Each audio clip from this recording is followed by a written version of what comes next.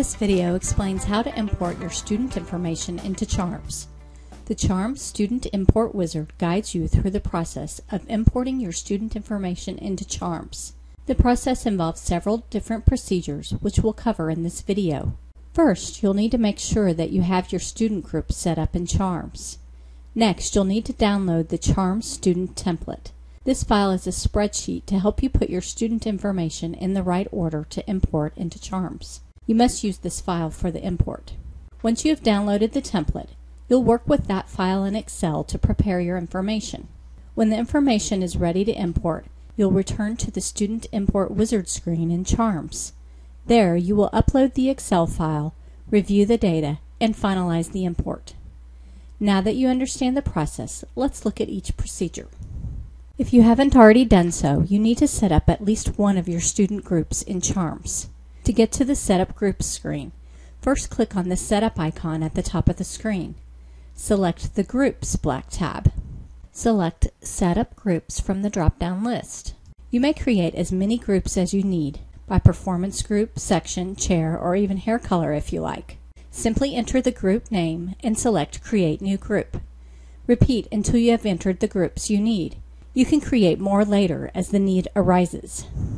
The list at the bottom shows the groups you have entered so far.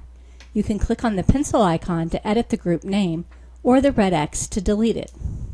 Next, you'll need to go to the Student Import Wizard screen to download the template file for your student information. To get to the screen, first click on the Students icon at the top of the screen. Select the Import Export black tab. Select Import Wizard from the list. Click on the Download Template button to save the CHARMS template to your computer.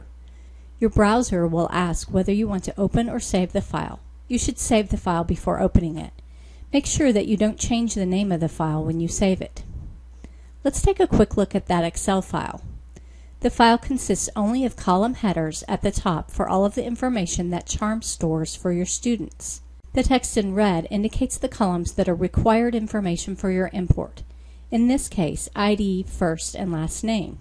All other columns are optional. Next to each column header is information about the number of characters you can include or what type of data is required for that column. For example, you can include up to 50 characters for the student's first names. If the column shows the number sign, you must enter a number. You'll need to get your student information into this file. If you have student information in a database file already, an easy way to do this is to view both your student file and the CHARMS student template file side by side. You can size each file to take half of your screen like this example. Copy your information into the CHARMS template one column at a time to get the information in the right order. Make sure that you don't paste the information over the column header in the CHARMS student template file. If you don't have an existing database of student information to copy, just enter the student ID numbers and the first and last names. Your members will be able to log in later to update most of the rest of the student information. Also note that you can upload some students now and others later, but make sure you start with an empty template next time. Otherwise, CHARMS will attempt to upload people who are already in your account, which will cause problems. Remember that the red columns are required information for importing the student information into CHARMS. Make sure your student ID numbers are at least six alphanumeric characters. Sequential numbers are not recommended.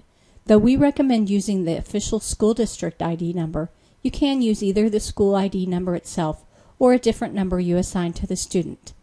If you want to use non-school ID numbers, we suggest using random numbers with at least six digits. This ID number starts off being the password into the student-specific area of the parent-student side of CHARMS. Since students or parents have the ability to change the password, don't worry about the fact that a random ID number is hard to memorize. Let's discuss the optional columns in the template. Include the grade level information if you know it.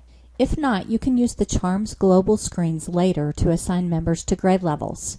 You should also include the part information, but make sure it's in the right format so that there are no errors with the import.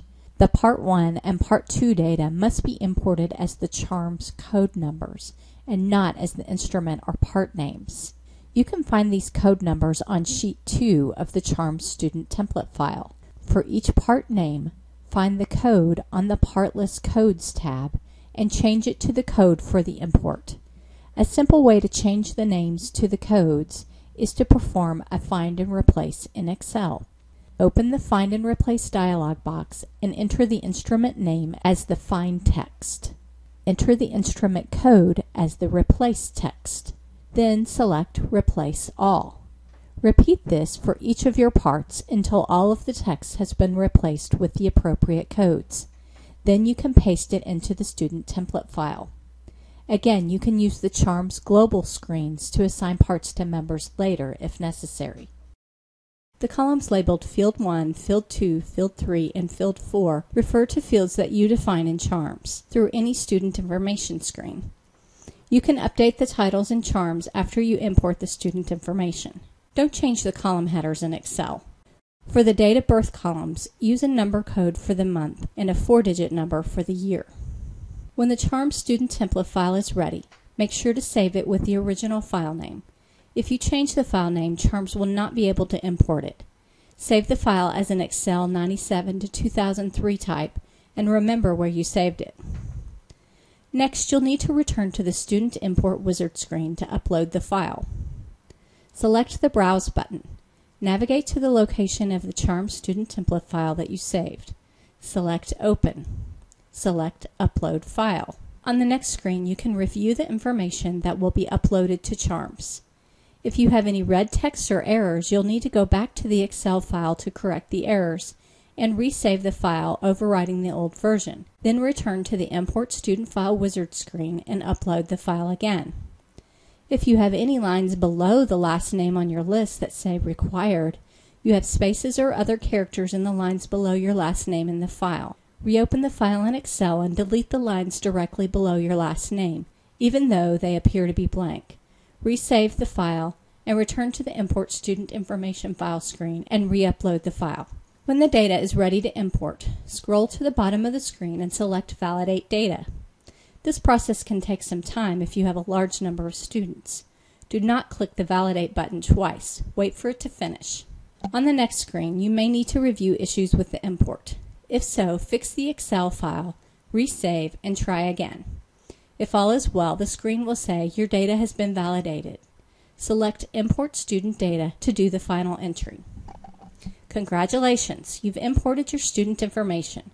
The last screen includes links to the student screens where you can assign students to grades or groups and other student-related tasks. Note that you cannot replace or overwrite this data by re-importing it. Any changes will need to be made from within the CHARM system on the individual student screens.